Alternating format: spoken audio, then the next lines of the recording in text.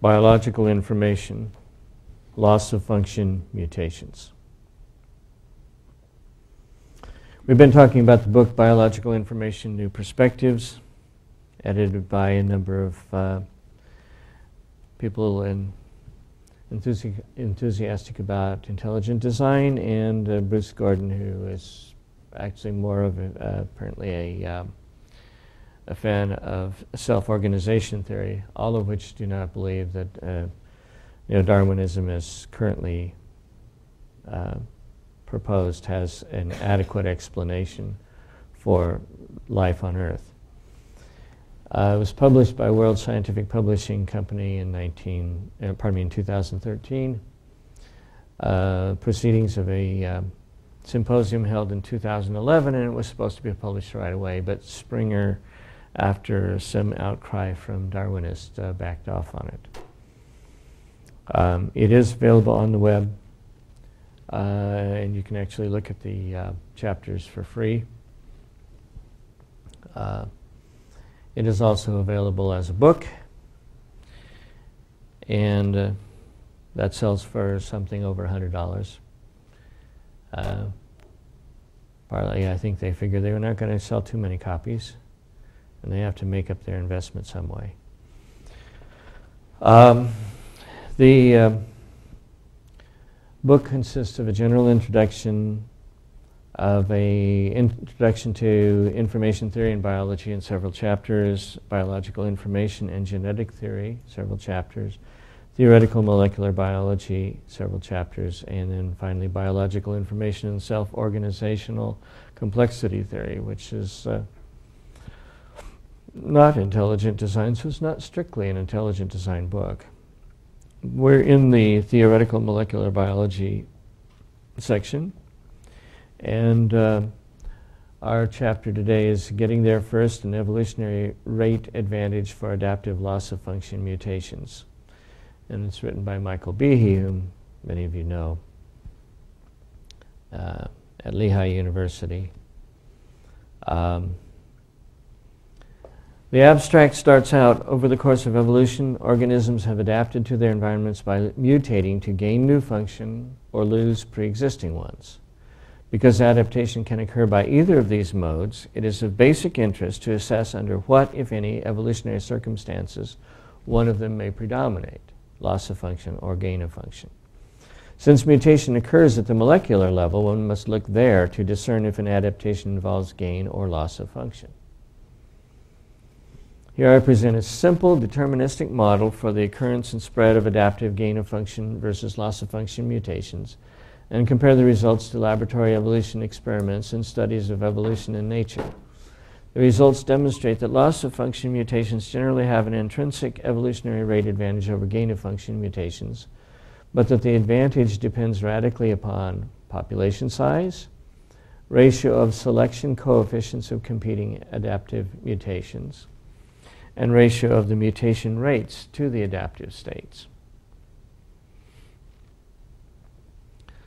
Introduction. In On the Origin of Species, Charles Darwin emphasized that natural selection is relentless, continuously monitoring each organism for its fitness, selecting those with an advantage and weeding out the disadvantaged.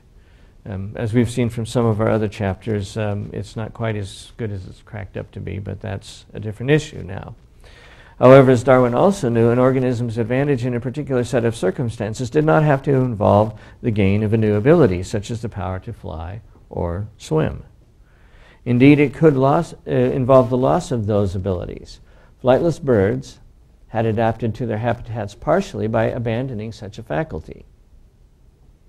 Some organisms went even further. Darwin described some barnacles in which the male was reduced to a transparent sac with little but a reproductive system remaining. By specializing in this way, the barnacles and their descendants presumably gained an adaptive advantage over competitors. In the 19th century, Darwin and his contemporaries could identify mutations only through their phenotypic effects. However, with the progress of biology, especially in the last half century, contemporary science can now characterize mutations also by their molecular effects to the genetic material of a species. In order to understand the roles of loss of function, or as he'll abbreviate it from here on, uh, LOF functions versus gain of function, or GOF mutations, one must keep phenotypic versus molecular changes separate.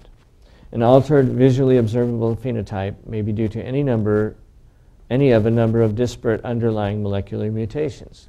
He'll give an example. A mutant mouse that is 50% larger than its litter mates seems like an advantage, right?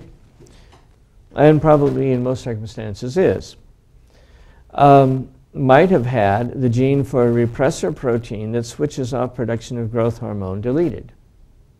At the molecular level, that would be a loss of function mutation, since a functional molecular feature was deleted, even though the increased size of the mouse may strike the casual observer as a gain of function.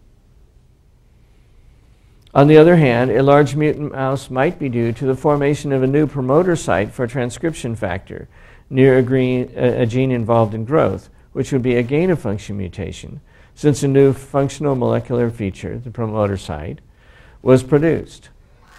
In this paper, I will consider loss of function and gain of function mutations as affecting functional molecular features such as genes and regulatory elements, no matter what their possible phenotypic effects may be. The model. Consider a population of organisms that comes under a new selective pressure. To respond to the pressure, two different, two different adaptive mutations are postulated to be potentially available. One which represents in the gain of a molecular function, and another which results in the loss of one. What factors might affect the probabilities of either kind of mutation becoming fixed in the population in competition with the other? One factor of immediate importance is the rate of appearance of the adaptive mutations. It is very possible, very often possible, to eliminate a molecular function by a variety of mutations. Gain of function mutations, on the other hand, are generally much more specific, sometimes being produced in only one way. As an illustration, consider several mutations to human genes that give a measure of resistance to malaria. The best known such mutation is a sickle cell gene, in which, by means of a single adenine to thymine transversion. What used to be adenine became thymine, and by the way, vice versa. The codon for a glutamic uh, residue in the sixth position of the beta chain, globin gene, is converted to a codon for valine. This can be considered a gain of function mutation because the hemoglobin gains a self association site on its surface allowing the individual proteins upon deoxygenation to aggregate into microtubular-like structures. Now, of course, it has its own problems, but uh, right now we're considering simply its advantage in the, in the situation where malaria is a common parasite. By an as yet unknown mechanism, the polymerization negatively affects the growth of malarial parasite, which spends part of its life cycle in the red blood cell. Now, another mutation which confers a measure of resistance to malaria is deficiency of glucose 6 phosphate dehydrogenase, or G6PD as it's commonly known, which, in which a mutant gene produces little or no functional enzyme. For reasons that are unclear, this interferes with parasite viability, as other problems too. But, um, but the parasites apparently need G6PD for whatever reason. Population genetic studies have shown that hundreds of separate mutations have led to deficiency of wild type G6PD in populations at risk for malaria. Hundreds of separate, different mutations. On the other hand, the mutation producing the sickle cell gene is thought to have arisen de novo only a few times in the last 10,000 years, or perhaps only once. The reason for the disparity in the number of de novo mutations is straightforward. To secure a sickle cell mutation, a particular nucleotide of the beta globin gene must be substituted in a particular way, I might add. Since the nucleotide mutation rate in humans is the order of 10 to the minus 8 substitutions per generation, and the transversion of that kind is only one third of that, or more or less, that is also the de novo rate of appearance of the sickle gene. On the other hand, there are many ways to produce a non-functional protein such as malaria-resistant G6PD. For example, during replication, the insertion of a nucleotide anywhere within the coding sequence results in a frame shift and likely in an active polypeptide. Deletion of a nucleotide in the coding region will have the same effect, as will alteration of a codon from sense to nonsense. Longer editing problem there, obviously affect instead of effect. Uh, longer insertions and deletions will frequently have the same effect. Missense mutations, although likely not completely inactivating the protein, will often make the protein less stable or less functional. And in case you're wondering, the sense to nonsense, that's actually sense to the stop codon. Um, missense may not completely destroy, and depending on some of them, may not change it much at all. Thus, considered as a class, the mutation rate for a functional to a non-functional gene may be several orders of magnitude greater than the basic nucleotide mutation rate. Indeed, the adaptation rate of E. coli, whose generational nucleotide mutation is 50 fold lower than that of humans, has re recently been measured as 10 to the minus fifth. For the two, classes of mutations, in this paper I explore the effect of this factor on the evolutionary rate of spread of adaptive mutations as a function of population size, mutation size, mutation rate, selection coefficient, ratio of selection coefficients of the competing adaptive mutations, and the ratio of mutation rates to the adaptive state. Calculations were performed using a particular computer program just for completeness sake. Results in relatively small population sizes, this is where the effective uh, uh, number of uh, uh, size of the genome is much less than 1 over the mutation rate. Unless otherwise stated, organisms are assumed to be haploid because most laboratory evolution experiments have been done with haploids. That would be bacteria. Uh, and the model is developed accordingly. The resulting equations can be applied to diploid organisms by replacing uh, n sub e by 2 n sub e. In order for an adaptive mutation to become fixed a, in a population of relatively small size, two separate processes must occur, each with its own time scale. Number one, if the mutation does not yet exist in the population when the selective pressure begins, then the expected waiting time to the appearance of the selected mutation is uh, the waiting time for uh, mutation 1 is 1 over 2 times the number uh, of genomes in the population times the mutation rate times the selection rate, where S is the selection coefficient. Uh, once the selected mutation appears, the time for it to fix in the population, the fixation time, is equal to 2 times the natural logarithm of the effective population rate divided by S. Now, uh, notice that there's a reference for that. This is not just something he's pulling out of his hair, of his head. If um, if one is comparing two distinct mutations in the same population that are responsive to the same selective pressure, however, the, both the rates of mutation to the adaptive state and the selective coefficients may differ. And so you'll have a TW2 and a TFX2 uh, as well as the TW1 and TFX1 that we saw before, defined in roughly the same way, only for the second mutation. Thus, whenever um, RD over Fx is greater than 1, the loss of function mutation is expected to fix in the population before the selective gain of function mutation appears. So you no longer need it. Figure 1 illustrates this situation. Two curves are plotted for the appearance and subsequent spread of a loss of function and a gain of function mutation in a population of 1 million organisms. Now, you're probably asking, what in the world is RD over Fx? Well, there you are. Um, it's not quite that complicated. As you can see, the area in red um, the inside here is simply uh, derivation, which is der derived from before. I've omitted a lot of the math, and you get um, uh, 1 over 4, the effective number, times the logarithm of the effective number, uh, and then RS and RV. Um, and this is what happens normally as the loss of function curve comes up much before the gain of function curve, simply because there are hundreds or thousands of ways for there to be a loss of function before the gain. Notice that the loss of function is, is shown here as not as rapidly fixed as the gain of function, but because it starts earlier, it doesn't really matter. Now, figure 2 plots the value of RD over Fx, which is the really important number, versus the effective population size for several values of RV. That's the, the ratio of how likely you are to get a variant for loss of function versus a variant uh, for gain of function.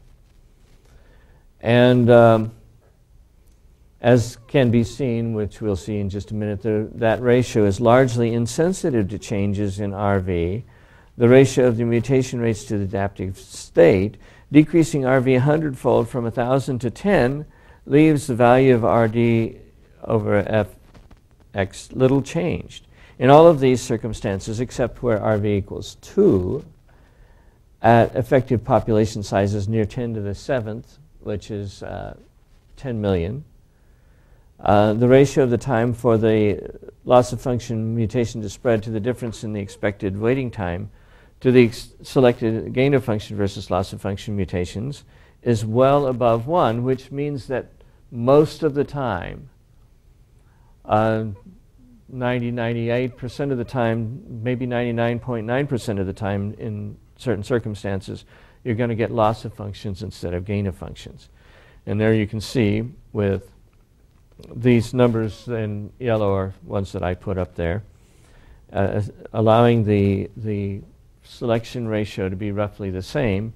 Um, uh, 1,010 are almost identical. It's not until you get to 2 that you start getting some separation, um, which means that in this particular case there would be only twice as many ways to get a loss of function as a gain of function. And even so, you don't get down to a ratio of 1, which is when you start getting as many gain of functions as you do loss of functions, until you're out to a million organisms. So you can see it really makes a, uh, very little difference most of the time until you get uh, until you get to uh, where they're almost as easy to gain a function as to lose one. Figure 3 examines the relationship between um, the, um, our final answer, our sub d over fx, versus the effective population size for several values of rs, with rv held constant at 1,000, which is about usually gain of, pardon me, loss of function is something of the order of a thousand times as easy to get as a gain of function. Um, in this case, R sub d over fx depends linearly on the ratio of selection coefficients. At any population size in the range, a decrease in a factor of 10 in RS decreases R sub d over fx by approximately the same factor. The magnitude of s, the, the, selection coefficient itself, which is absent from equation 2, does not affect the results. Thus, when r sub s is about 0.01, that is, when the selection coefficient for the loss of function mutation is only 1% of that of the gain of function mutation, rd over fx decreases to a value of 1 at a population size of about um, uh, 150,000 versus a population size of about um, 15 million uh, when RS is 1. And I'm skipping over a whole bunch of stuff. Uh, here, the RV is, is held constant at 1,000, and in RS, you see 1, 0 0.1, 0 0.01. You can see how it, uh, um, how the ratio of the selection cons, uh, constant does make a difference. If you don't select very fast, then then you don't fix fast enough in the population to be able to take over before the gain of function comes across.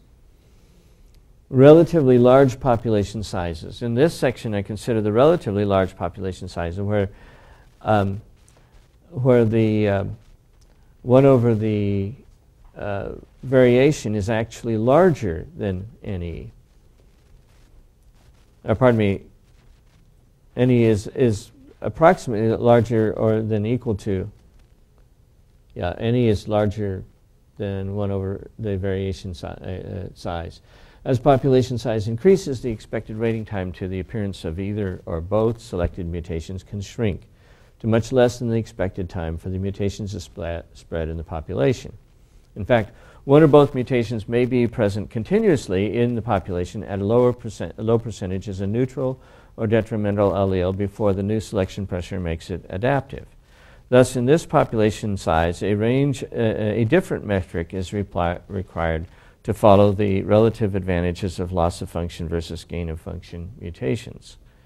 And the, the different method is called R of fx, and uh, as you can see, there's a little bit of math involved. And I'm just going to skip over uh, most of the other stuff for now. Um, uh, discussion, and this is where the paper gets particularly interesting. Um, loss of function versus gain of function adaptive mutations. Organisms can adapt to their environment either by requiring new abilities or abandoning old ones.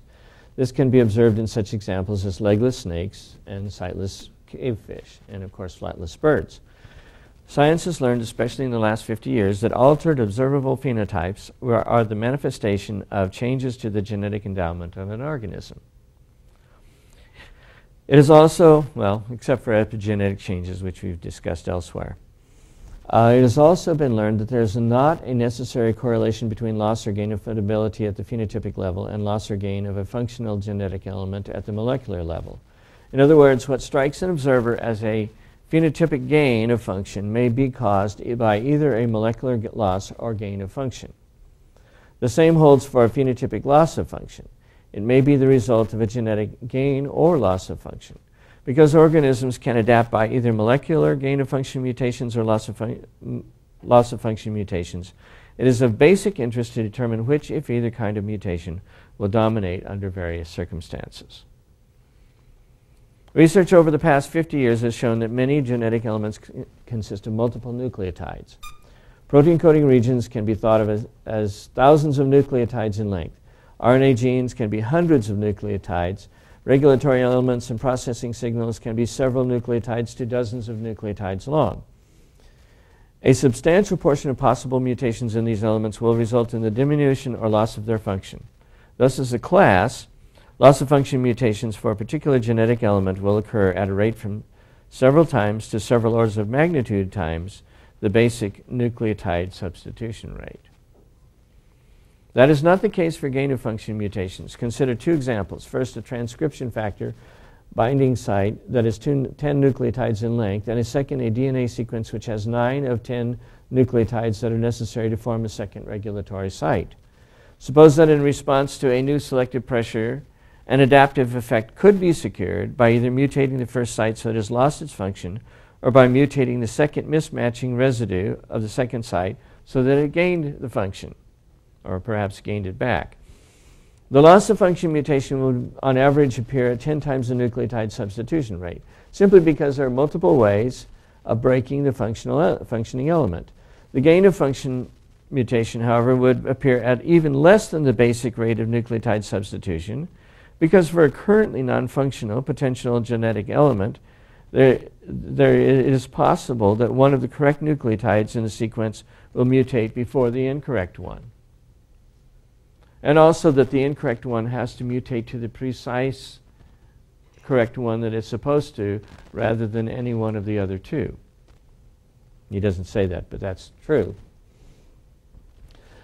Second, consider a recently duplicated gene which could provide an adaptive effect in response to new selective pressure if a certain nucleotide in the gene were altered, allowing the duplicate gene product to, say, diverge productivity inactivity from the parent gene product. So now instead of just metabolizing glucose, you can metabolize lactose as well, or something like that.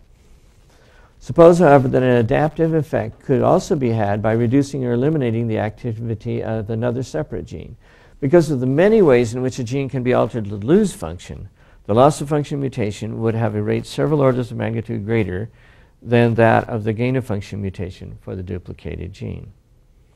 There can be cases in which a gain of function mutation may appear at several times the nucleotide substitution rate. I discussed earlier the sickle mutation, which a single particular nucleotide in the beta globin gene must be changed. Yet in other cases of gain of function, there can be several possible nucleotides to change, each of which will suffice. For example, Counago et al.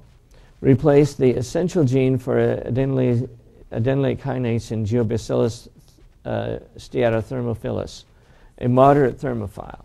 Basically, it's a bacterium that grows in hot temperatures, or not too hot, not the 198 that some bacteria do, but, but uh, you know, 120 or something like that. Um, with that of Bacillus subtilis, a mesophile, which may, they then grew in a turbidostat at increasing temperatures. Basically, they're growing it in something that we can control the temperature and we keep the germs just keep multiplying in the same broth that's con constantly fed and kept at the same bacterial concentration more or less. Over the course of 1500 generations, they isolated six thermostable mutants of the enzyme one single point mutation, and five double point mutations derived from the single mutant. Thus, in this circumstances, the enzyme could gain the function of being active in a hostile environment by any of altering any of six positions. Well, to be precise, it's altering one position and possibly another, any one of another five. So there are mo there's more than one pathway to make the uh, uh, to mutate the new uh, enzyme to the desirable temperature stability range. The, nonetheless, the number of ways to break a functional element will almost always be much greater than the number of ways to construct one. So that in almost all cases, RV would be expected to be greater than 1. Effective uh, disparity and adaptive rate. In this chapter, I investigate the effect of disparity in the rate of mutation to an adaptive state for loss of function and gain of function mutations as a function of several parameters. The model presented here is a simple deterministic one, which does not consider the probabilistic nature, nature of changes in allele frequencies. So it's a limited model uh, in an important way, but it could be expanded relatively easily. Because of its simplicity, the general behavior of the investigated model is visible with considerable clarity, and the issue of evolutionary rate advantage of adaptive loss of function mutations is highlighted. If a loss of function mutation with a smaller selective selection coefficient is first fixed in a population, what scenario is most likely to occur after gain of function mutation eventually appears? The answer to that question is likely to depend on, sharply on the specific genetic elements involved. One possible scenario is that gain of function mutation also spreads to fixation and the loss of function mutation remains fixed. The second possibility is that, depending on the physical nature of the mutation, the loss of mut function mutation may be repaired by subsequent mutation after the gain of function mutation spreads in the population. If it cannot be repaired, it may be replaced by horizontal gene transfer or by having its function taken over by another genetic element or the organism may adapt in other ways to its loss. And of course, if you're talking uh, diploid organisms, they can get uh, a normal uh, gene from another uh, uh, mixed with, um, with the gain of function gene. uh, which is kind of, sort of, horizontal gene transfer. Penman et al. recently demonstrated that the outcome in competition between the sickle mutation, which is highly protective against malaria, and various thalassaemic disorders, which are less productive, is quite difficult to predict because of epistatic effects unrelated to their anti-malarial activities. You get both of them and uh, you're suddenly in a much greater trouble, or perhaps much less trouble. You have much less trouble with um, unwanted sickle crises um, because of a smaller red cell to begin with. Thus, the future course of the evolution of a system after initial fixation of a loss of function mutation might be considerably more complex than a linear succession of mutations with increasing selective value. For the uh, mutation rate of 10 to the minus 9 at population sizes uh, greater than 10 to the 8th, and a loss of function mutation is no longer expected to fix in the population before a selectable gain of function mutation occurs because the gain of muta- function mutation is already there in the population.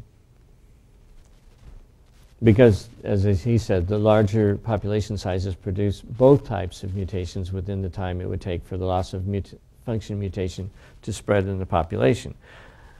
Nonetheless, even though the metric RD over Fx eh, decreases below 1 in this range, in many cases the loss of function mutation will become the dominant mutation in the population anyway.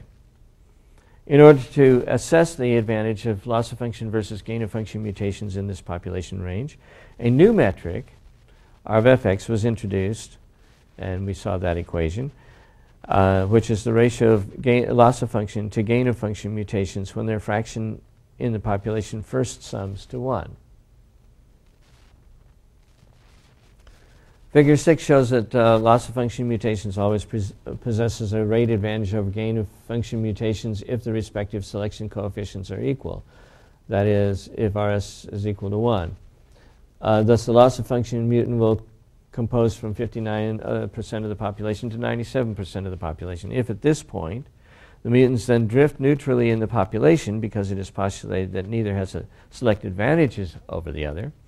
The loss of function mutation is expected to become fixed with a probability equal to its population fraction. And skipping over a few other things, over the past 40 years, many laboratories have conducted evolution experiments, observing an adaptation of microorganisms to varying environmental conditions, and in many cases, identifying the molecular changes that comprise the adaptive mutation. How do the results obtained in this chapter bear on the interpretation of those experiments? In other words, what is the intersection of theory and practice? Comparison to uh, experiments where the uh, population is much less than 1 over the mutation rate. The most extensive laboratory evolution experiment to date has been performed under the direction of L- Richard Lenski at Michigan State University. Starting in the early 1990s, Lenski and colleagues began growing 10 milliliter cultures of E. coli, which undergo six to seven doublings per day. Each day, they transferred 1% of the culture to fresh medium.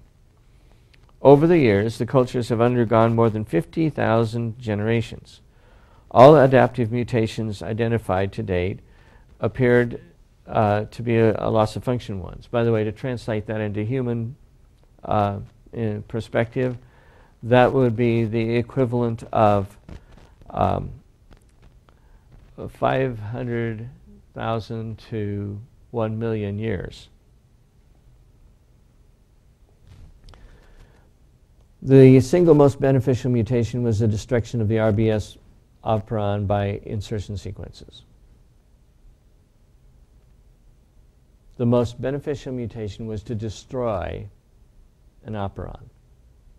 The value of the selective coefficient for this was approximately 0.02. Other identified loss of function mutations included ones in the PICF, NADR, PBPA, ROD-A, HOOKB, SOCB, MALT, and TOP-A genes. A whole bunch of destructive mutations. A number of other adaptation, adaptive genes have been identified to date, but the nature of the mutations, whether loss of function or gain of function, have not been reported. They haven't sequenced it yet, so we don't know exactly how it works. And skipping on down, Lenski's group recently reported a very adaptive citrate plus phenotype. And some of you, I'm sure, have heard of that. The bacteria can now metabolize citrate anaerobically. It could always metabolize citrate aerobically, by the way. And it always had the citric acid cycle in it. So this, uh, you know, this apparently required both loss of function and gene duplication mutations. Nothing new was added. Unless you want to count gene duplication, which is kind of, mm, well, new, but not any more new than a Xerox copy of something is new. Comparison to experiments where two selective routes were potentially available. An interesting conceptual blend of the Lenski and Counago approaches was recently published by Gauger et al.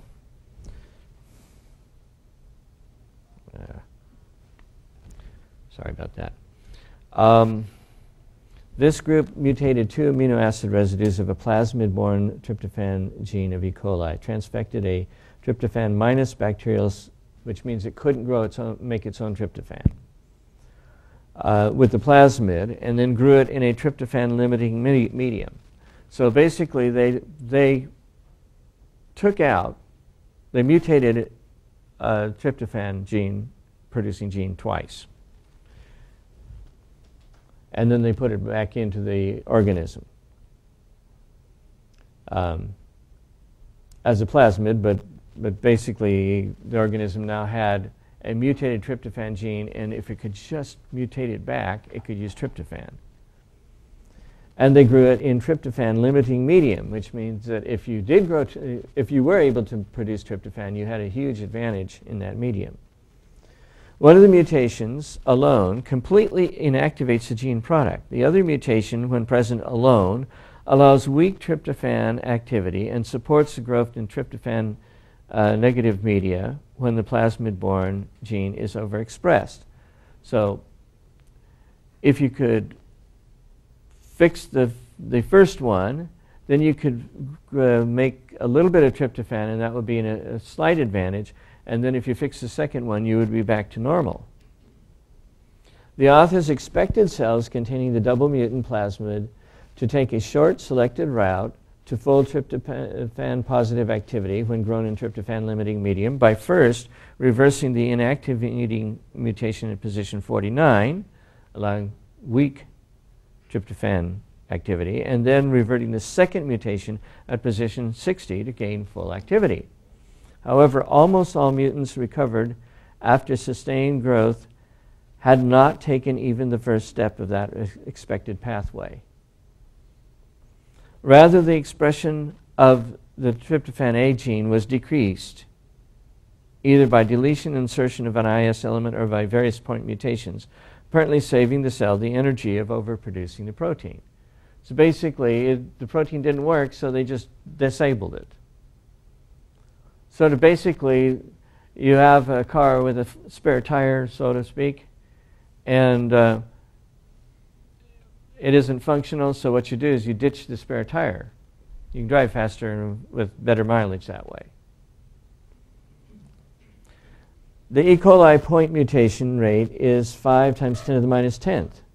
Gauger et al., 23, grew liquid cultures to an effective population size any of around 6 uh, times 10 to the seventh cells per generation. Uh, that'd be about 6 billion. Pardon me, 6 million. Uh, substituting these numbers into equation 2 shows that um, RD over Fx would be 5.3, greater than 1 if RS were 1 and RV were 100. That is, if the selective advantage of the cell received from shutting down overexpression of the plasmid-borne gene were equal to the selective advantage it would receive from taking the first gain of function mutational step to partial tryptophan plus activity, the loss of function mutation would be expected to be easily fixed in the population well before a gain of function mutation occurred, which is in fact what happened. For one partial relevant a par- partial revertant to be expected to occur before the loss of function mutation, uh, mutant fixed under the conditions of the experiment, RS would have to be 0.2. That is, the selection coefficient for the gain of function mutation would have to be approximately five-fold greater than that of the loss of function mutation.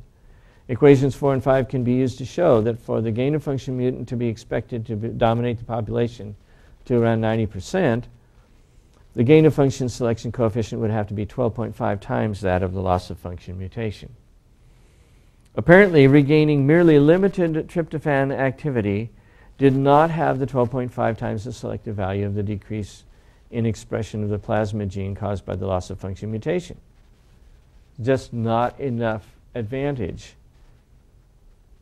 to having a weak tryptophan producing activity. Thus, under the conditions of the experiment, the selective pathway back to full tryptophan activity is blocked at the first step. Interestingly, if cells transfected with either but not both of those uh, mutations were grown in liquid culture, tryptophan positive revertants quickly took over the culture. In other words, we can do single mutations. Double mutations, not so much.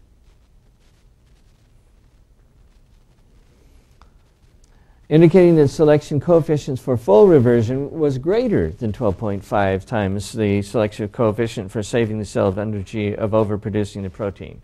So if you know you get flat tires enough, why you keep the flat tire even though, uh, and, and you figure out how to repair it so that it can be actually used.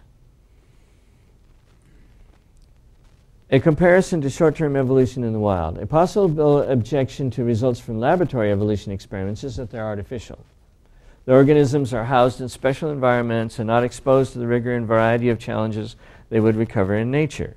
Thus, the many advantages loss of function mutations observed in the experimental work may not reflect what happens in nature, since presumably the great majority of an organism's genes are not, uh, pardon me, are required in the wild, and therefore few, if any, adaptive loss of function mutations are available in nature. While that may turn out to be the case, and more data will be required to come up with a definitive conclusion, an increasing number of results from nature appear to ratify the importance of the adaptive loss of function mutations in the wild. One class of such loss of function mutations, which I've mentioned previously, includes genes that helped adapt humans to the presence of malaria.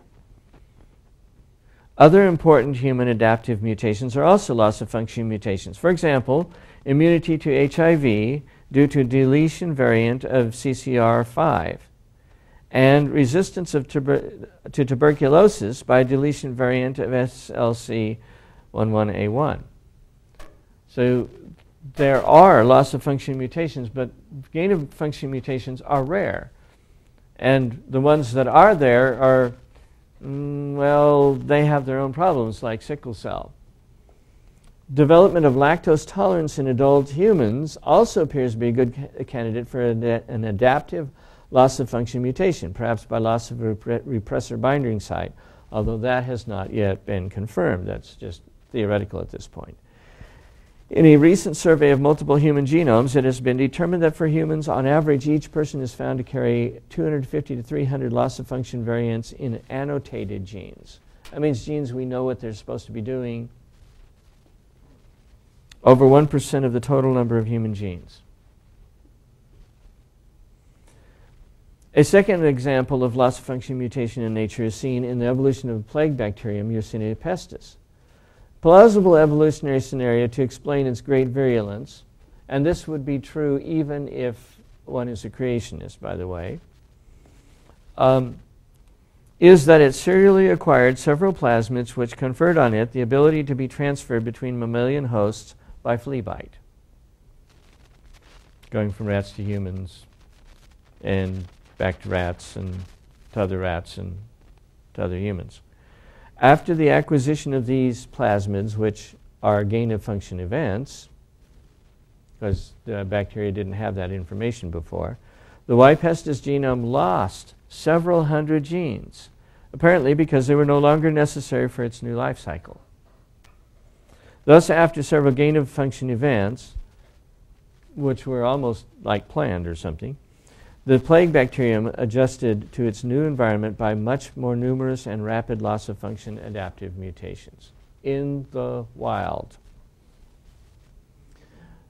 Nadeau and Jiggins have recently reviewed genomic studies of adaptation in natural populations and note that many of the well studied examples of adaptive evolution have involved trait loss, such as the loss of bony structure in fre- freshwater stickleback populations and the reduction of pigmentation in eyes in cavefish. Although, as mentioned earlier in this chapter, there is not a necessary correlation between phenotypic trait loss and adaptive loss of function mutations, in the cases mentioned by Nadeau and Jiggins, they coincide. Loss of pelvic spines in freshwater sticklebacks has been traced to a deletion of a PIT-X1 enhancer. Eye reduction in cavefish apparently involves multiple genes, and not all in the same cavefish. Of those that have been identified, three involve decreased expression of the gene uh, gamma M crystallin, rhodopsin, and alpha A crystallin. One gene, HSP90A, has increased expression and it appears to be involved in promoting apoptosis. So it's a gain of function, but a gain of the ability to destroy the cells, which is still not quite what we had in mind when we're trying to build complex structures. Organisms have adapted over evolutionary history both by gaining and losing functions. Therefore, it is of basic interest to determine if one or the other dominates during particular circumstances. Until the past few decades, however, the molecular events underlying these processes were obscure because we couldn't sequence the genes easily. In recent decades, science has in some cases gained the ability to determine whether the events behind a phenotypic adaptation involved an adaptive gain of function mutation or an adaptive loss of function mutation. Both experimental and laboratory work over the past few decades and recent genomic studies of adaptation in natural populations attest to the importance, even dominance, of loss of function mutations in short term evolutionary episodes. The work presented in this paper helps show why this should be the case. Functional genetic elements such as genes and regulatory regions are built of multiple nucleotides, and a substantial fraction of mutations to these elements will cause them to lose their function. Thus, the loss of function mutation rate can be orders of magnitude greater than the nucleotide substitution rate. On the other hand, gain of function mutation rates tend to be quite specific. And what happens if you have to have two precise mutations? Now it's even lower, or five, or seven. So the rate of, for ad adaptive gain of function mutations tends to be equal or very similar to the nucleotide mutation rate, or is, as I pointed out, if you have multiple, it may be much less. As shown here, for some population size regions and for some values of the ratio of selection coefficients, the greater rate of mutation to the adaptive state for loss of function versus gain of function gives adaptive loss of function mutations an intrinsic edge over adaptive gain of function mutations. In retrospect, the result is straightforward. Yet, it also seems somewhat surprising because, as Nadeau and Jiggins write, what, why it's surprising from a perspective. There clearly are complex structures that are gained during evolution. We know that because evolution happened, right? And we currently know little about how this process takes place. Think about that. It may be hoped that understanding how organisms survive in the short term by adaptive loss of function mutations will be a step towards understanding how complex structures are built over the long term. Um, maybe it took um, a targeted change. Now, my take on this is that I think Behe has demonstrated that beneficial loss of function mutations in general should be far more common than gain of function mutations. Both are selected, which means that uh, there's not a difference between the two in that regard. That means that in general, evolution actually means devolution loss of function, loss of information. It is not clear how such a process could build complex structures, at least could do that, could do so without guidance. But That's my opinion. Now it's your turn.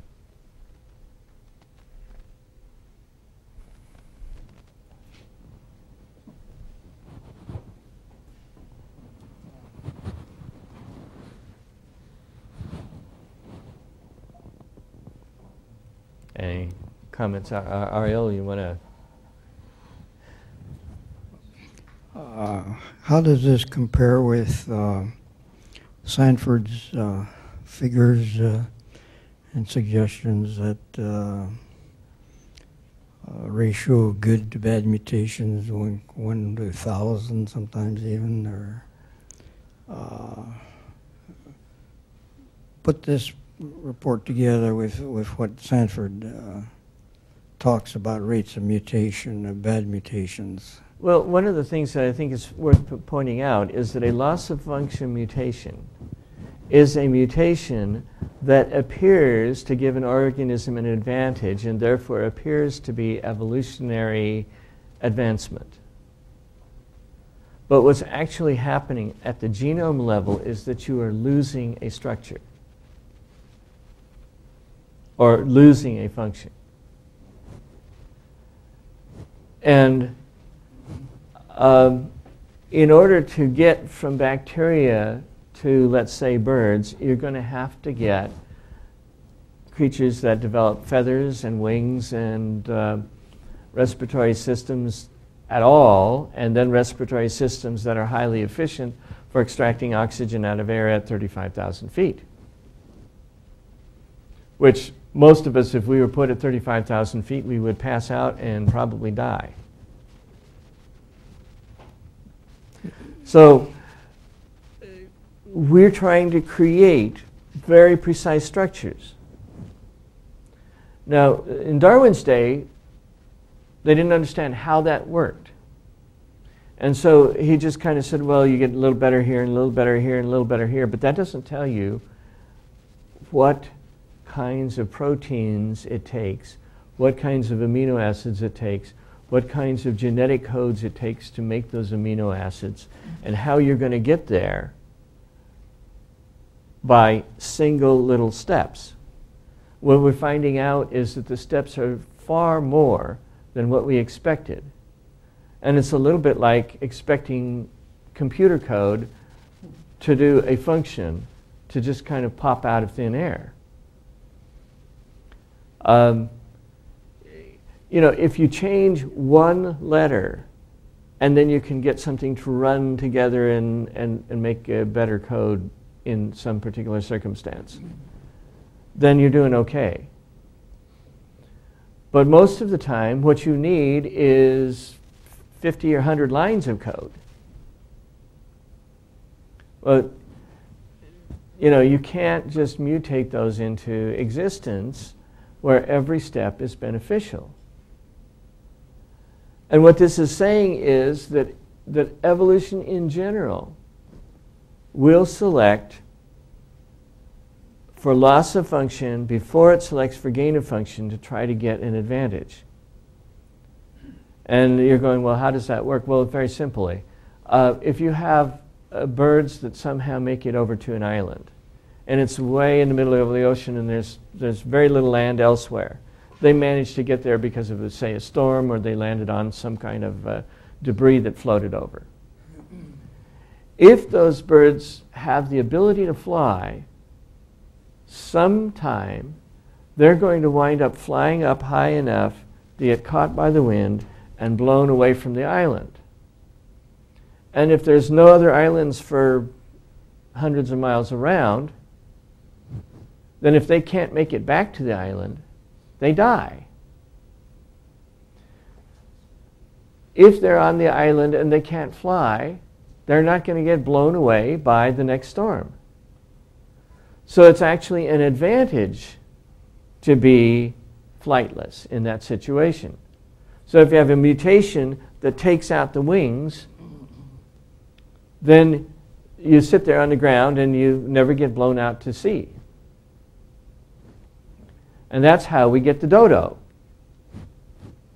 which is adapted to the island on which it is. It doesn't fly, so it doesn't get blown out to sea, and it's evolved to be big.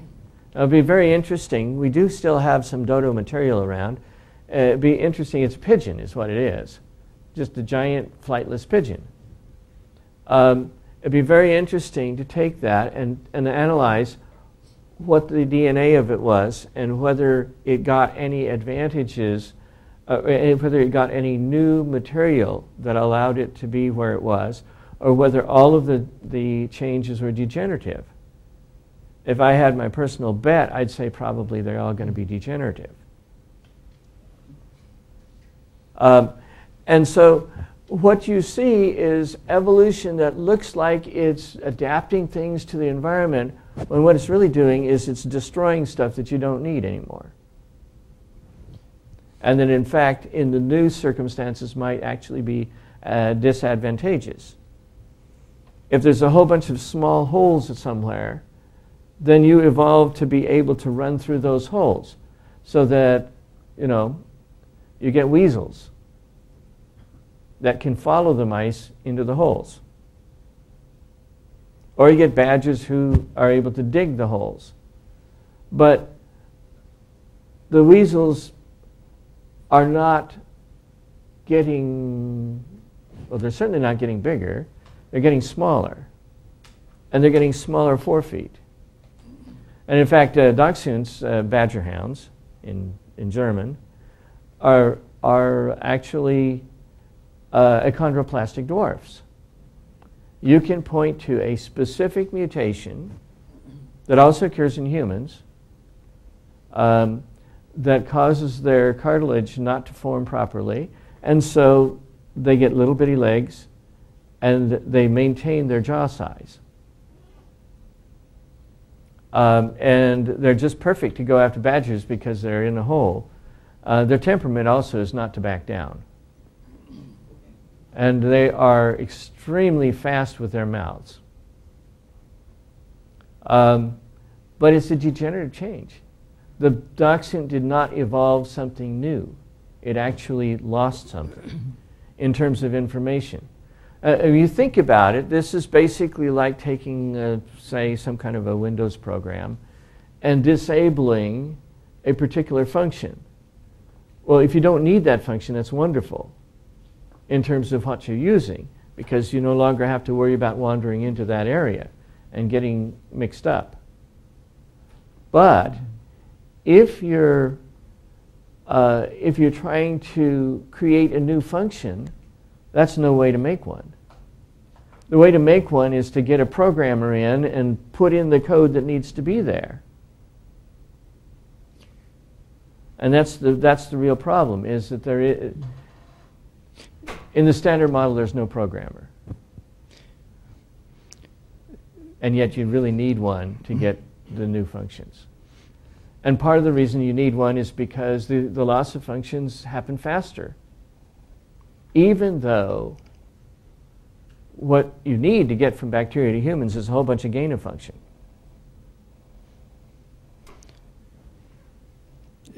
Isn't Behe being a little bit generous to evolution? Yes, he is. Because we haven't counted all of the loss of function mutations that are detrimental but are not detrimental enough to kill the organism, and so they're not being effectively screened out.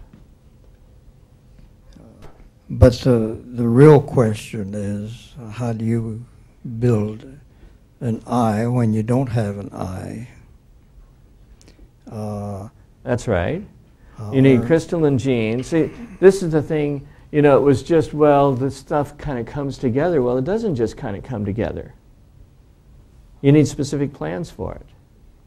And the plans come from somebody who planned because, you know, you, programming a computer is not turning on the machine and, uh, and hoping that uh, the random noise will, will work with your program. Uh, so Sanford's figures are probably closer to reality than. than That's right. Than Behe is, Behe is actually being generous. What, what we're showing is that there, are, there is more than one problem involved. There's Behe's problem, and then there's Sanford's problem behind it. Uh, we, okay, comment here and then up there. Go ahead. So, how do we fit the obviously losing function and the devolution to our understanding of creation. So basically, we're saying God created all this stuff at the beginning, and then because of sin, then everything is losing and, and going downhill. But if it's actually gaining some temporary sort of function that, even though it's a loss of function, it's it's an adaptation that helps the organism at whatever location that it's adapted to. How does that fit? Um, well, creation is groaning. It's losing function anyway from the uh, processes that, um, what's his name, uh, Sanford pointed out. And, and a lot of the time when it does gain function, it's actually gaining it by destroying the underlying information, which is what Behe is pointing out. And, and so if, if you start out with a, a well-designed machine, then for certain circumstances you can, uh, uh, you can actually trash some of the stuff. You know, if you want to go light, you can take the radio out. It doesn't really matter. On the other hand, if you're in traffic, the radio is really nice to know where the, where the, where the accident is so that you can go around it to the, and get on at the next intersection afterwards. Yeah, so it sounds like we're asking the demolition contractor to do the construction, huh? Basically, that's right. And the, the thing of it is, it, it won't work. Okay. I'm going to pass it back there. Uh, and then uh, after, after him, then you, you. Okay, go ahead. Yeah, you've been saying essentially what I was going to say. Uh, even with the gain of function, you're losing some of the original uh, organism.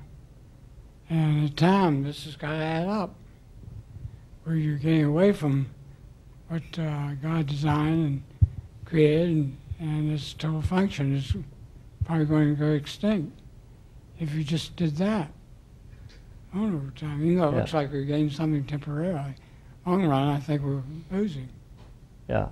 Well, Behe is just another variation of the point that, you know, if you see, if you see the river coming down at you, and there's a swimmer who's swimming five miles an hour against the current, and the current is 30 miles an hour, there are two things you know. Number one, eventually he's going to go over the waterfall on the other side. Just delay it a little bit. And number two, he didn't get there by swimming upstream. It's like uh, were saying, everything's still obeying the laws of thermodynamics. You can't win, you'll always lose, and you can't get out of the game. Everything is heading towards a decay. According to even, even Psalms 102, "And thou shalt wax old like a garment, everything is going to go away eventually, and God is going to create something new. That's right. We are doing the same thing right now. We are devolving from what a previous high state of grace that we Uh-huh. were before. We wanted to see what life was like without God's direct intervention. We're getting to see it. And, And we it's know it's a fool's good. game, what they're proclaiming that it came Yeah. on its own. With the one exception that actually you can get out of the game. In fact, everybody does eventually. Because you die. Interesting observation. I notice the uh, questions and comments are moving in the direction of theology, and I'm always does my heart good when we start uh, moving in the direction of implications, and there are big implications for theology, as everyone knows, and that's why we like this class. Um, I'm, I'm going to start with genetics, but since I know very little about genetics, I'll jump immediately into theology. You know, to get enough generations to do the statistics that Behe and some of these others are doing, you've got to work with bacteria or something that has a very uh, fast turnover time. Otherwise, your grant money runs out a long time before you get that. your grant money and your patience. If, if we if we try to do anything with higher organisms with genetics, forget it. So we're extrapolating all the time. But the point I would like to make is that God, being creator of all, He knows the past, the present, and the future. He can he can do better than Einstein. We're doing a lot of uh, tributes now lately to Einstein because this year is the anniversary of one of his big major, um, you know, writings and theories came out. The 1915, was that general relativity? Yeah, there was I think 1905 was special relativity. one was special, 1915 is general. Yeah. So there's, I see a lot in the uh, news magazines and stuff uh, about Einstein. But uh, he did thought experiments, but you could say God could also do that in that he knows the past, the present, and the future. So he could take genetics of any organism and work it all out to almost an infinite number of generations. And he would know the end result hmm which would be a tremendous advantage. But uh, I think we're definitely like Einstein. We feel like we're we're in the presence of God when we when we do this and when we extrapolate. And it also is a humbling experience how little we know. You know, extrapolating from bacteria to you and I. Wow, that's a big jump. Co- uh, comment there and then comment. Go ahead. Um, Me?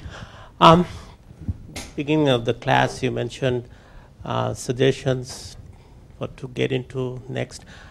I felt uh, perhaps from time to time may not be a bad idea to um, give a summary of what we have covered so far uh, in more of a layman's term. Sometimes some of these fly over my head. It may not fly over other folks, but it do mine.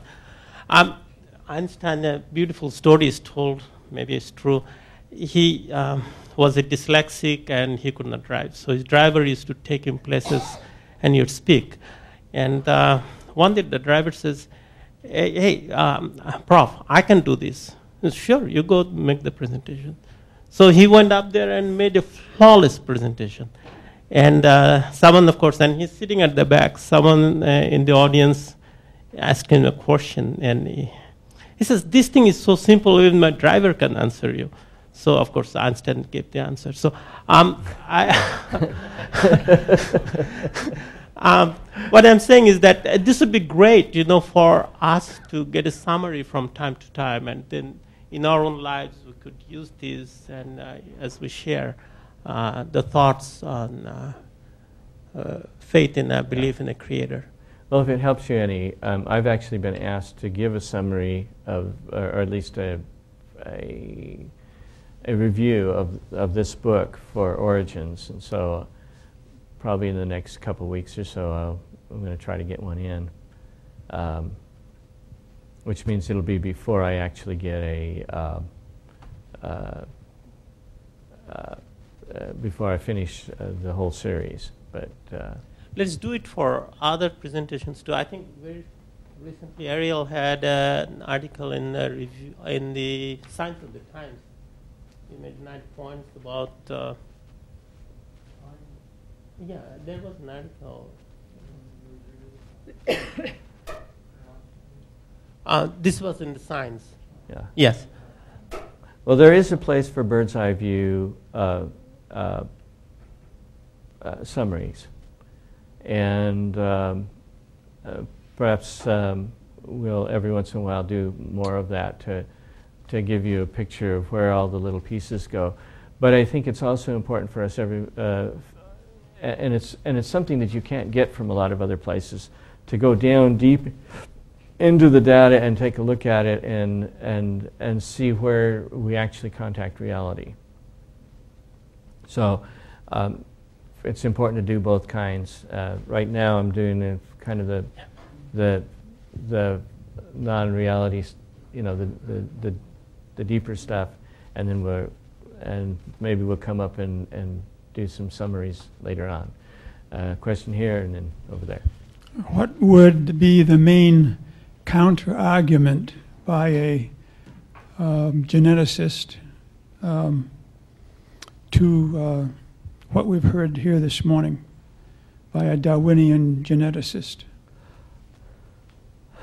I think most of what you would see would be picking around the edges and in, in, in, in, in a particular case, because we've seen where he made the same argument in a specific case in chloroquine resistance.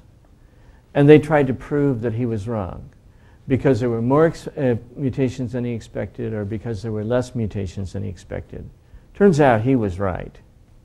His critics were wrong. But they didn't want to admit that because, the, because what you do when you don't actually have the arguments on your side is instead of making the arguments, you try to destroy the reputation of the person who's arguing for the other side. And that's what, they, that's what has been traditionally done for him. Uh, it's very interesting to watch from the sidelines. They don't really have a good argument. I mean, they can make a case that, for example, uh, maybe in one situation he should have, uh, you know, 10 instead of 5 as a number. That doesn't destroy what's being done. And it's, I mean, it's in some cases totally irrelevant. We saw this happen with uh, Durrett and Schmidt, who were trying to discredit Behe by saying he was off by a, factor of 10 to the 5. And instead of hundreds of millions of years for, um, for humans to change two non uh, two mutations, one, one, the first of which was non-helpful and the second of which was helpful, that was only 100 and uh, was only um, 160 million. You know, doesn't really matter. So nowadays, if we're going to make that argument, we just quote Durrett and Schmidt. And they don't have any argu- they don't have any answer for that because Durrett and Schmidt is their, their guys admitting it. Nowadays, if I want to make a comment about the RNA world, I just pull out Eugene Koonin. He makes the point. Whenever they sit down and do the actual calculations, their, their calculations come out somewhere within reasonable orders of magnitude of what ours would. And they're doing with all kinds of favorable assumptions. So it doesn't matter. They don't have an answer. And the only answer they do have is to try to discredit the person who's making the point. I hate to put it that way, but that's the way it is.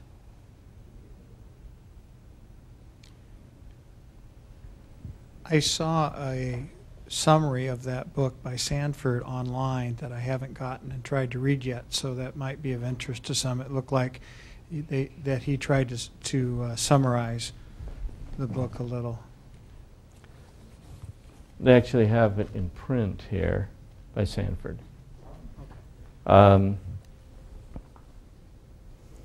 uh, for a while, um, what's his name? Uh, Bernard Brandstater had several copies of it and was distributing them around, but uh, I don't know what's happened at that point.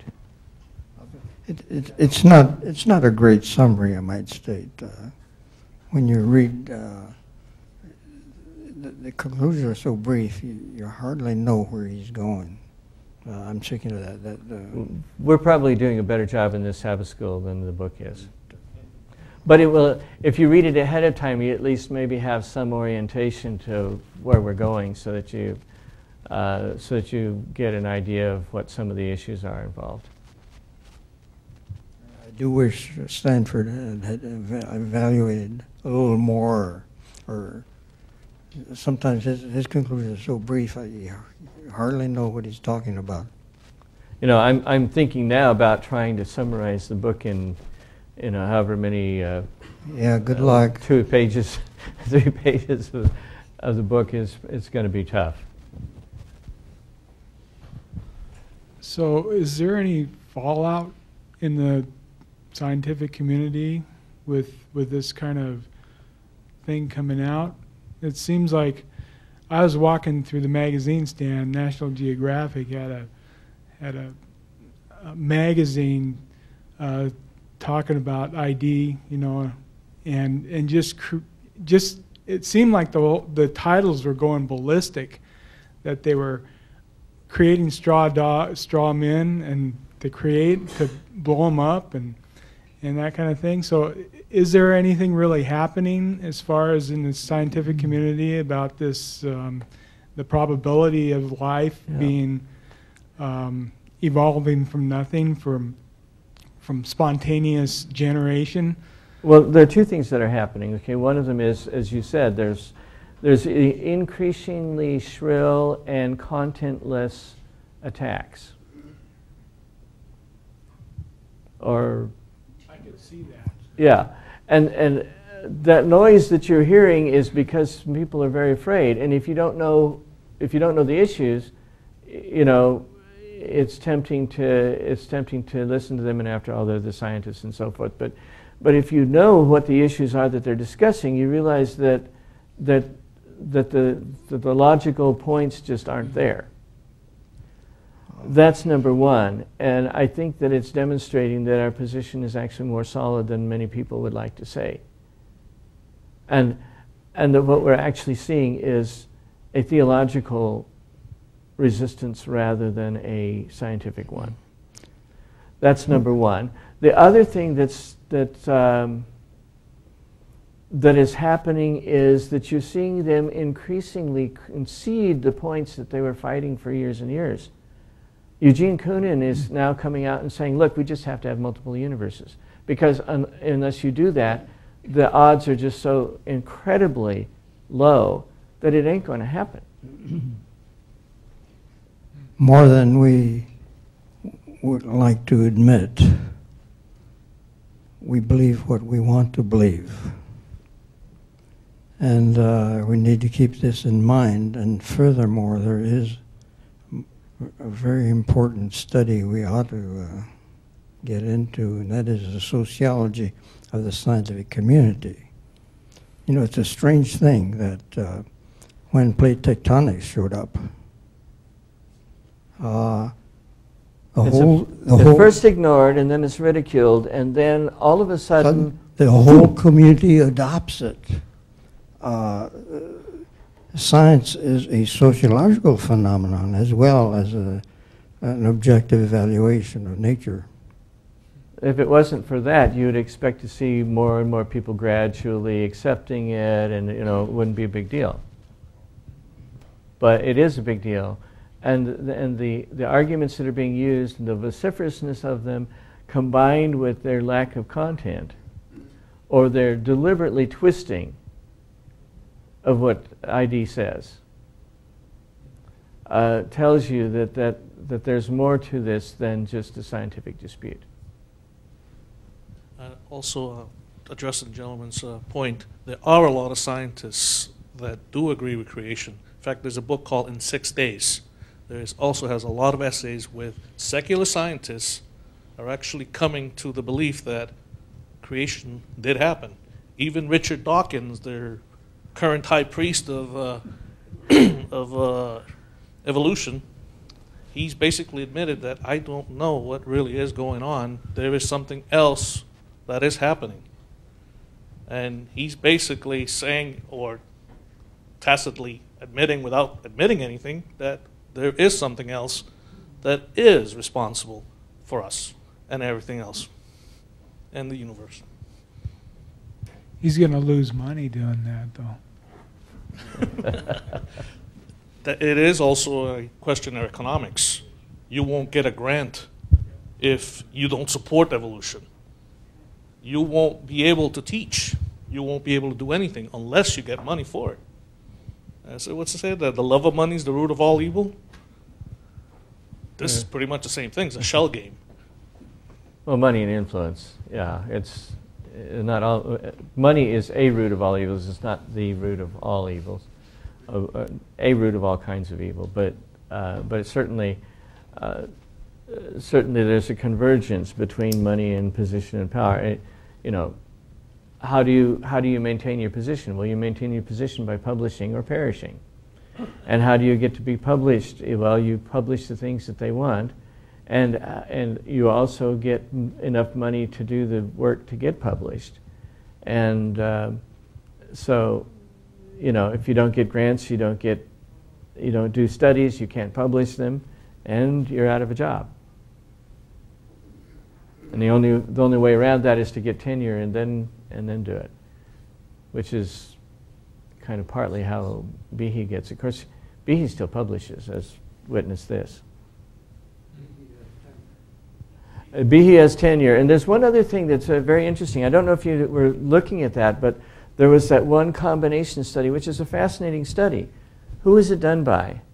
Gauger and, the, and, the, and the group that the Discovery Institute is funding. That's one other way around the publisher parish thing is you get your funding from somebody who's ID friendly.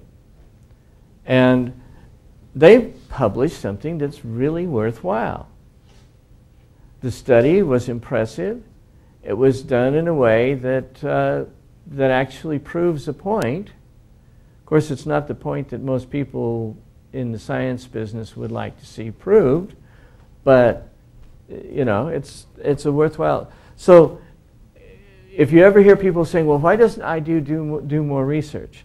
Well, there's two reasons. Number one is that they don't have as much funding. But the number two thing is they do more research. We are now starting to see that laboratory publish periodically some really good work in terms of, you know, they take theories and they test them. Um, of course, the results aren't exactly what the majority of the scientific community wants, but you know, that's okay.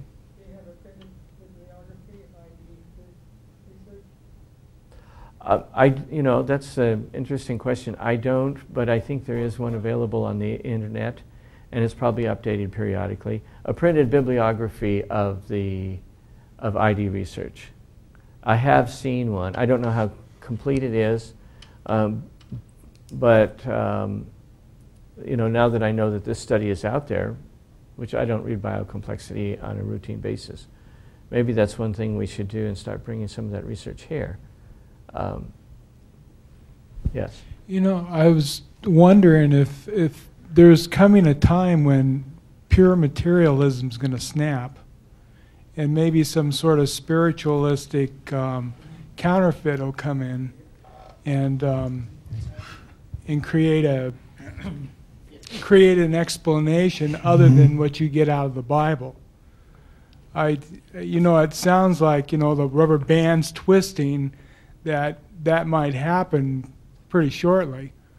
Yeah, uh, I think I think if the atheist rubber band snaps, it will not mean uh, the end of all opposition to uh, the religion of Christ. No. That you will, in fact, see perversions of that mm-hmm. religion step to the front as well. I think I think the issue will change then from is there a God, is there not a God, to is the Bible true mm-hmm. or isn't it? Uh, you'll have progressive creation in there, you'll have theistic evolution in there, and all kinds of things competing with the uh, plain reading of the Bible or maybe something completely new that's Yeah, you could, Well, it'll probably have new. it doesn't take long to, to, to produce new ideas, you know. it- It'll, it'll probably have some new and some old uh, in, in an odd well, mixture. mixture. Uh, in fact, it reminds one of the uh, of the uh, Scarlet the the the uh, lady write- riding on the beast that uh, has mixed stuff in her cup.